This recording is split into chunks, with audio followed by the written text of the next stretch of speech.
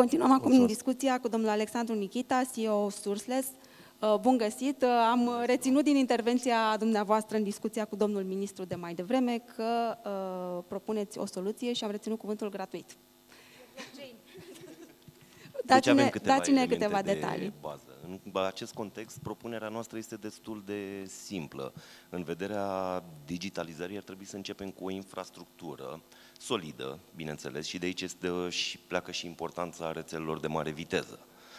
Uh, când vine vorba de această soluție de tip blockchain, soluția noastră este bazată pe câteva componente. Bine, acum am putea vorbi ore în șir despre uh, această soluție, dar în linii mari este vorba de un blockchain uh, hibrid, scris de la zero ca și cod, patentat în Statele Unite, iar unul dintre componentele sale bă, esențiale este redefinirea bă, termenului de tranzacții per secundă în tranzacții per milisecundă. Da, este o performanță destul de notabilă pe care în imediata perioadă o să o facem și publică. Suntem exact înaintea evenimentului nostru de lansare într-un mod public la nivel, la nivel internațional. O altă componentă a ecosistemului nostru, pentru că nu este vorba doar de blockchain, îl avem combinat cu Distributed Ledger Technology, tocmai pentru a facilita transferul de date într-un mod uh, foarte rapid. Uh, Zero Knowledge ca și tehnologie pentru a face validarea cât mai simplă uh, și multe alte componente pe care le avem în spate, de la sisteme de comunicare peer-to-peer, -peer, până la un sistem, ecosistemul nostru de fapt este vorba de cloudless, nu de cloud. Soluția este bazată pe Distributed Ledger Technology, cum am uh, menționat puțin mai devreme. Uh, este un ecosistem complet și complex, uh, iar toate aceste lucruri se, se învârt în jurul unui element cheie, un identificator unic. Ideea de la care am plecat este de a oferi o identitate digitală fiecare entități, fie că vorbim de persoane fizice, juridice sau instituții, cu o identitate asumată în spate printr-un KIC și AML.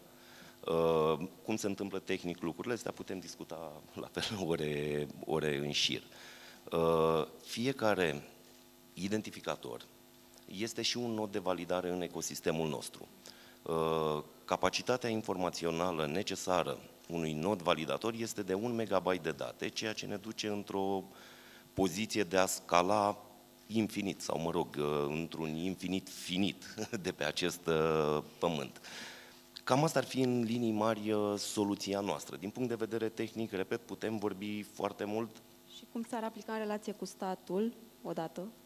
La fel ca oricărui alt ecosistem. Nu am dorit să vorbim direct cum s-ar aplica unei țări, ci unui ecosistem. Iar prin ecosistem putem înțelege de la o companie de 10 persoane până la o mega corporație, o țară, un ONG sau, eu știu, uh, prin acești identificatori unici, s-a vorbit puțin mai devreme de aplicația ROEID. În cazul de față, aplicând tehnologia noastră, bine, nu este un proces chiar atât de simplu, dar nici nu trebuie să renunțe la ce s-a făcut până în momentul de față, ci doar o mixuire a acestor tehnologii, iar prin acel identificator unic să permitem logarea în acea uh, aplicație. Uh, aici vorbim de criptare în spate. Sunt foarte multe soluții pe care departamentul nostru tehnic ar putea să le explice foarte în amănunt. Așadar, pentru stat e gratis, dar pentru companii... Uh, uh, să știți că cam nu care sunt scump. costurile? Nu aș putea să vă spun un cost, pentru că fiecare soluție este customizabilă în parte și în cazul blockchain-ului vorbim de fork, hard fork, soft fork. Depinde fiecare ce dorește. Sau dacă se dorește utilizarea chain-ului nostru, a rețelei noastre, bă, singurul cost este achiziția, achiziția acelui uh, identificator. În cazul nostru, formula de adresare str.nume de domeniu, diferită de www, folosim alte protocoale de comunicare față de cele clasice HTTP. În cazul nostru este vorba de comunicare peer-to-peer. -peer. Puteți să ne spuneți câți membri sunteți în echipă? Cât lucrați la asta? Suntem în plină expansiune. În momentul de față, core team-ul măsoară undeva la 35 de membri, iar uh, per total echipa extinsă numără undeva la 70 de membri și suntem în uh, continuă expansiune, atât în România cât și în afara Asta țării. vreau să vă întreb, câți sunteți români? Am început, uh, români, 35 de bază, Uh, nu, mai mult, mai mult, undeva la, acum am spus să-i număr în gând. Uh, Pentru că este această problemă despre care am vorbit și, și mai devreme de reținere a oamenilor în țară, preferă să plece, mai ales cei din IT. În cazul nostru se poate lucra remote foarte bine, dar sunt și anumite posturi unde este esențială prezența la birou, tocmai pentru a ne organiza mult mai bine. Mulțumesc foarte mult și vă urez succes! Cu mare drag. Aș mai vrea să menționez un singur lucru, unul dintre partenerii noștri și nu pentru a le face reclamă, ci doar pentru a arăta importanța lucrurilor pe care le facem împreună cu ei și ne susțin. Este vorba de Organizația Mondială a Drepturilor Omului, uh, în parteneriat cu care suntem și au susținut ideea noastră de a transpune Declarația Universală a Drepturilor Omului în mediul digital, în codul sursă a blockchain-ului nostru. Practic, suntem primul blockchain din lume care oferă aceste legi în uh, codul sursă. Sta, sta, sta, sta, sta. De ce? Pentru că putem. Nu Asta ar înțeleg. fi un, Am văzut, uh, am acesta citit o ar fi un chestie, că răspuns. Harari a spus că, a spus acum două zile, noua, uh, ha- celebru Harari, că inteligența artificială va rescrie Biblia în uh, starea ei adevărată. Deci, uh, Asta ar fi minunat, nu știam. Dar în cazul de față cu drepturile omului este puțin mai simplu. Este vorba de cele 30 de legi uh, esențiale care au fost scrise, dar adaptate mediului, mediului uh, online. Uh, inclusiv o să vă las o mapă de prezentare unde avem Perfect. prezentate aceste perfect. uh, declarații. Bine, mulțumim mult de tot. Mulțumesc și eu. Da, da, da, da. Vă rog,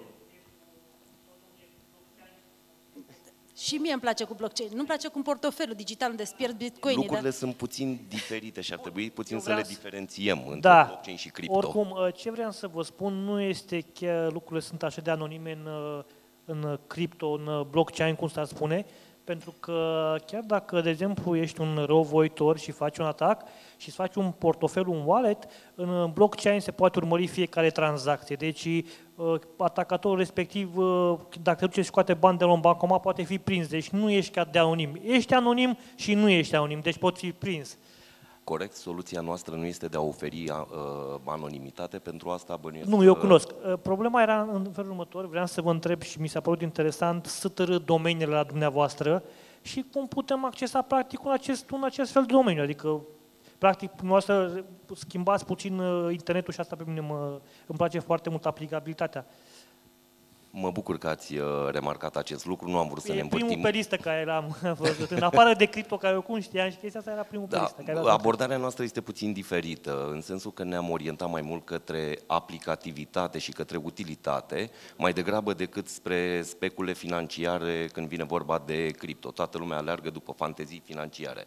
În uh, cazul nostru am venit cu un concept economic puțin invers, nu bazat pe cripto, deși avem două criptomonede în ecosistem, niciuna din ele nu este assetul nostru principal, ci bazat pe o ec- economie reală prin vânzarea acestor identificatori unici sub formă de domenii. Ele nu au funcții doar de simplu site, să zic așa, unde putem naviga cu ajutorul browserului nostru propriu, ca să vă răspund și uh, la întrebare. În momentul de față ne folosim căile de comunicare clasice. Deci, practic, e ca un fel de NFT, să înțeleg. Uh, are funcție și de NFT. În Da. uh, cazul nostru am reinterpretat acest concept denumindu-l Web Non-Fungible Token, pentru că în spatele lui sunt mai multe componente pe care le putem aplica.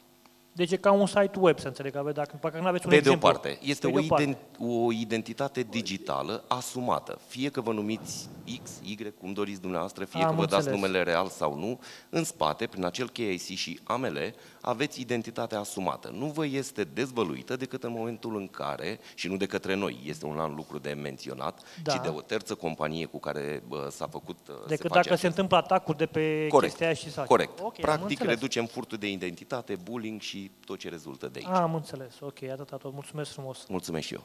Mulțumim mult de tot și vă mai așteptăm la evenimentele noastre.